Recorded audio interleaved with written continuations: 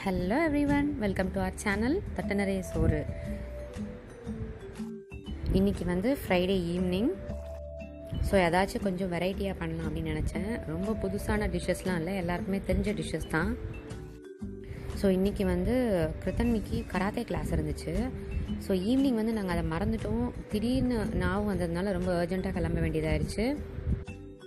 So நான் எதுவுமே வந்து ப்ரீ ப்ரிப்பேர்டாக எதுவுமே செஞ்சு வச்சுட்டு போகல. யூஸ்வலாக வெளில போனேன்னா ஏதாச்சும் செஞ்சு வச்சுட்டு போவேன். அகெயின் ஈவினிங் டின்னர் வந்து சாப்பிட்ற மாதிரி. ஸோ ஃபாஸ்ட்டாக வந்து ரெண்டு கிரேவி ஒரே ஒரு பேஸ் வச்சு எப்படி பண்ணலான்னு பார்க்கலாம்.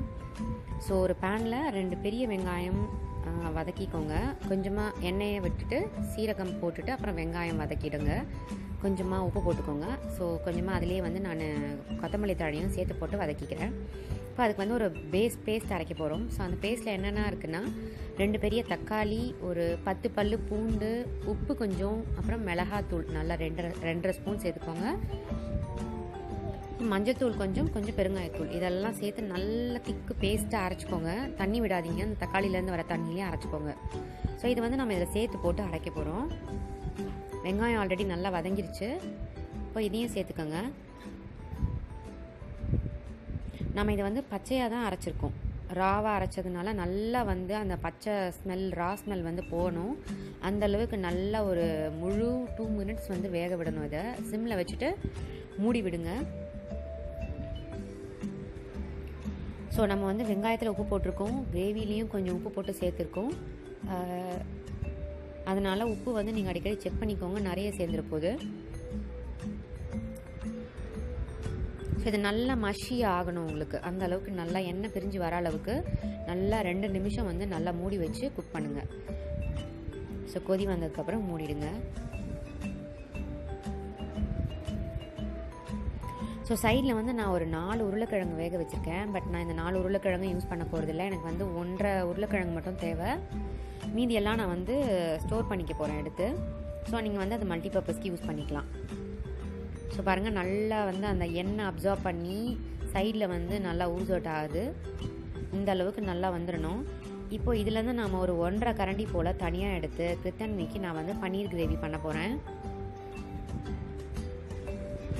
ரொம்ப சிம்பிளான பன்னீர் கிரேவி. இது வந்து ஒரு ரொம்ப உங்களுக்கு ஒரு அஞ்சு நிமிஷம் கூட தேவைப்படாது. ஃபாஸ்ட்டாக பண்ணிடலாம். மார்னிங் டைமில் வந்து உங்களுக்கு ஒரு சப்பாத்தி டக்குன்னு பண்ணிட்டீங்கன்னா இதை நீங்கள் பிரேக்ஃபாஸ்ட் ரெசிபியாக நீங்கள் கொடுத்துடலாம். லஞ்ச் பாக்ஸ் கூட கொடுத்து அனுப்பலாம். கொஞ்சமாக எண்ணெய் சீசன் பண்ணுறதுக்காக நான் போட்டுக்கிறேன். அதில் வந்து ஒரு ஒன்றரை கரண்டி மட்டும் எடுத்து நான் ஒரு கடாயில் தனியாக வச்சுக்கிறேன். இப்போ இதில் வந்து சும்மா ஒரு பத்து பீஸ் போல். நான் கிருத்தான்மைக்கு மட்டும்தான் பண்ணுறேன் ஸோ இதில் வந்து கொஞ்சமாக ஒரு அஞ்சாறு ஸ்பூன் வந்து தண்ணி விட்டுக்கோங்க. ஸோ ஒரு குட்டி கிரேவி இது. உப்பு தனியாக செக் பண்ணிக்கோங்க. குட்டீஸுங்கிறதுனால காரம் ரொம்ப தேவைப்படாது. ஸோ ஃபைனலாக இறக்கும் போது கொஞ்சம் கசூரி மேத்தி மட்டும் சேர்த்து இறக்குனீங்கன்னா பன்னீர் கிரேவி ரெடி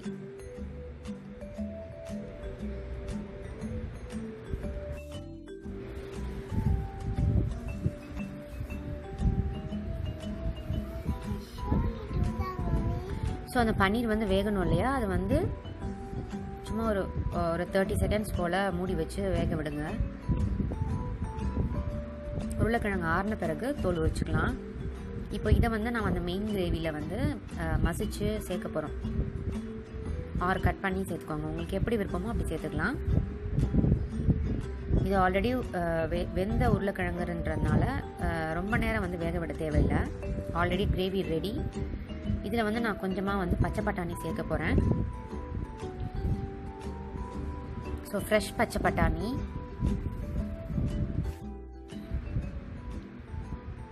இந்த கிரேவிக்கு கொஞ்சம் எண்ணெய் நிறைய இருந்தால் தாங்க நல்லாயிருக்கும். ஸோ கொஞ்ச நேரம் மூடி வைக்கலாம் அந்த இதை. ஸோ சைடில் வந்து இது ரெடி ஆகிடுச்சு இப்போ இதில் வந்து கசூரி மேதி சேர்த்துட்டு சர்வ் பண்ணிடலாம்.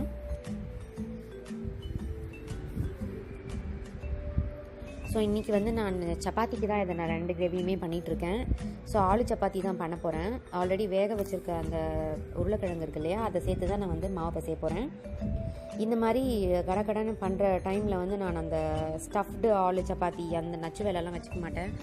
ஸோ அதுலேயே சேர்த்து நீங்கள் பிசைஞ்சிட்டிங்கன்னா ஆலு சப்பாத்தி பண்ணுறதுக்கு ரொம்ப ஈஸியாக இருக்கும். உள்ளே ஸ்டஃப் பண்ணி பிசை தரட்டும் போது உங்களுக்கு வெளில வரும் அந்த ஸ்டஃபிங் அப்படிங்கிற பயம்லாம் இருக்காது.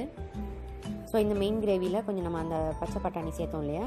அதோட கூட கொஞ்சம் தண்ணி விட்டு உங்களுக்கு தோசைக்கு சாப்பிட போகிறீங்கன்னா அதுக்கேற்ற மாதிரி எந்த அளவுக்கு கன்சிஸ்டன்சி வேணுமோ தண்ணி விட்டு நல்லா கொதிக்க வச்சு சர்வ் பண்ணலாம். ஸோ செம்ம கலரில் கொதிக்குது பாருங்கள் ஸோ நான் ஒரே ஒரு பீஸ் தான் சேர்க்க போகிறேன் பிரதன்மிக்கு வந்து ஒரு ஒரு சப்பாத்தி ஒரு ஒன்றரை சப்பாத்தி தான் சாப்பிடுவா. அண்ட் எங்கள் ரெண்டு பேருக்கு மட்டும்தான்.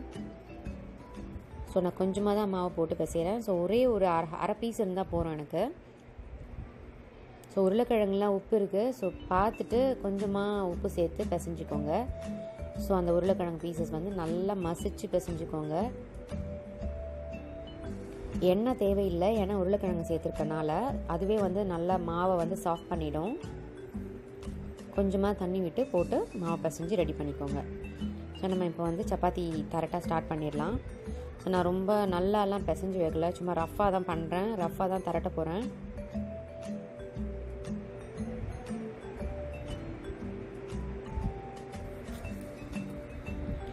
நான் இது வந்து செவன் ஓ கிளாக் வந்தேன். ஸோ செவன் டென்னுக்கு ஸ்டார்ட் பண்ணேன். டோட்டலாகவே எனக்கு ஒரு டுவெண்ட்டி ஃபைவ் மினிட்ஸ் தான் ஆச்சு. மொத்தமே பண்ணுறதுக்கு ஒரு செவன் தேர்ட்டி ஃபைவ்க்கெல்லாம் முடிச்சிட்டேன் நான். Half an hour max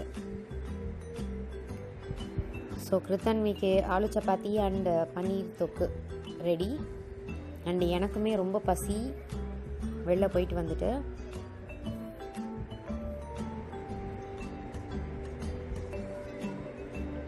so நானுமே வந்து சாப்பிட போகிறேன்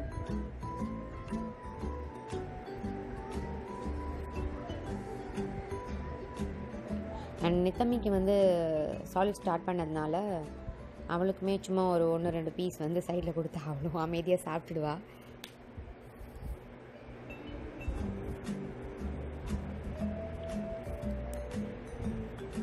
so கிருத்துக்கு soft soft aloo chapati ready நீங்கள் வந்து என்ன தான் கோட் பண்ணணும்னு இல்லை பட்டர் அண்ட் கீ கூட போட்டுக்கலாம்.